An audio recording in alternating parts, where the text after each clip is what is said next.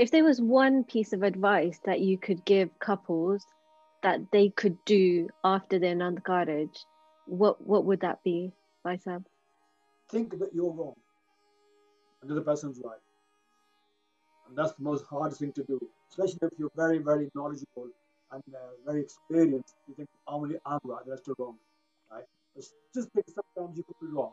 And, and, and think, well, I might be right, but I'm going to give the other person the benefit of the doubt and saying, you're right. And, and it might make the person happy in the sense just thinking about it. I think at least this person is willing to uh, give me a chance of being right, even though I might be wrong. And that way, uh, you're showing a bit of humility if you're genuine, uh, and you're giving the person a chance to find their place. If you sort of dictate and say, you're making a karna, right? But I would say has to happen sooner or later, you're going to find that the other person is feeling trampled or tied down. And with their education and with their sort of uh, way of life, they might feel that they're in a prison rather than in a marriage.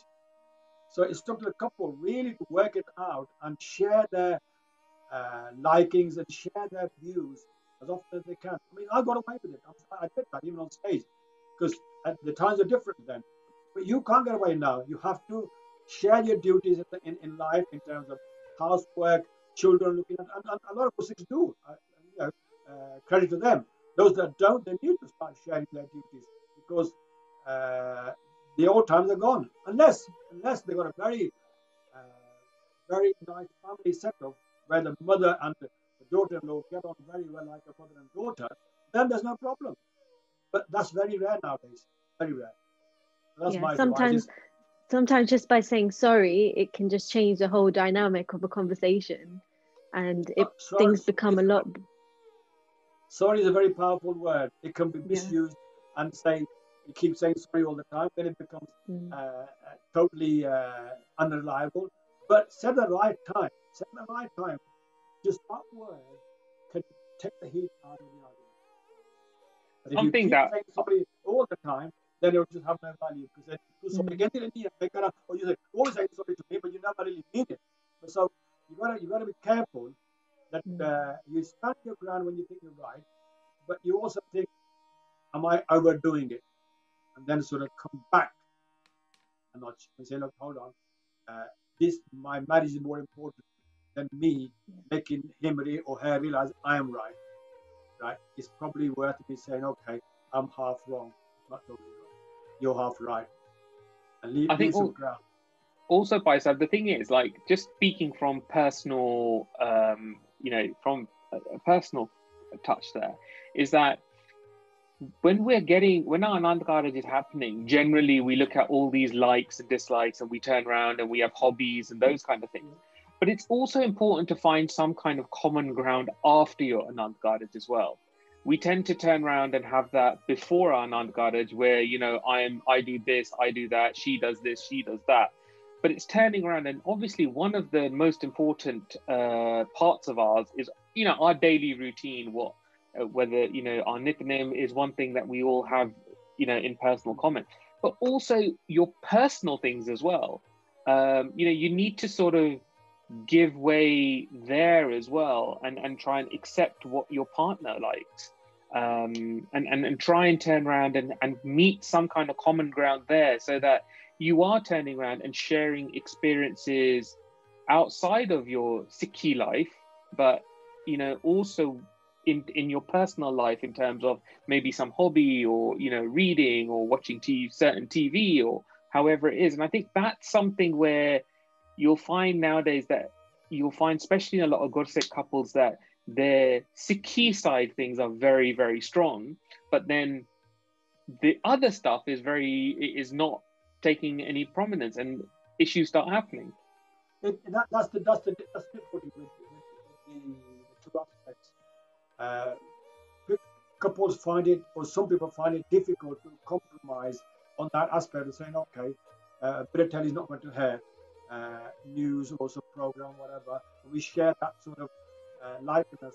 Uh, if you totally sort of abandon that side and say, look, I don't want to do that, you can do what you like, I just want to do my thing, you're really drifting apart. You've got to do something shared. You've got to do something together.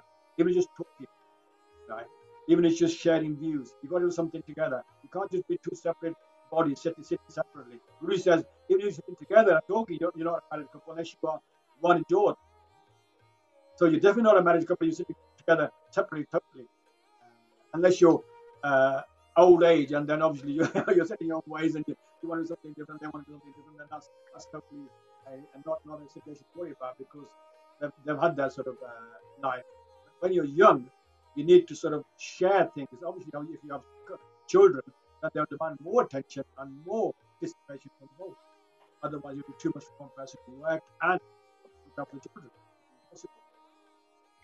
I think that's the massive issue with um, couples these days where people are more interested in their own needs and their own wants rather than seeing it as we're actually one unit and we need to work as one unit. And that can lead to issues such as extreme circumstances divorce almost.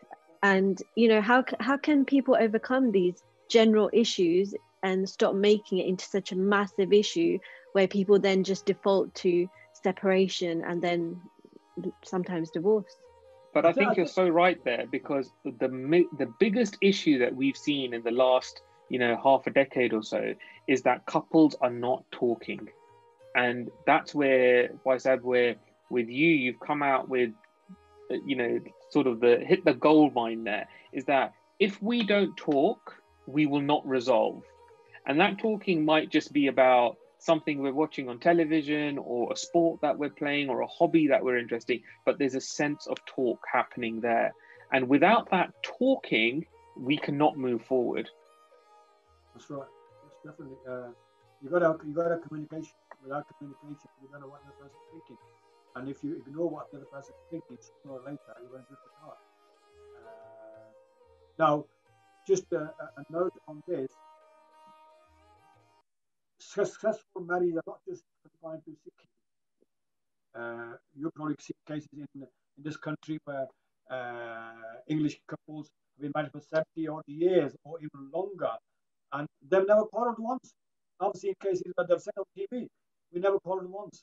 And when one person dies, the other one, the other person dies very quickly because they can't stand the separation of the other person. It means they had a deep connection. So the soul will find its way of connecting. But Guruji has given us a, a way of uh, increasing that connection by connecting to Gurbani. But don't just make that a one-sided thing.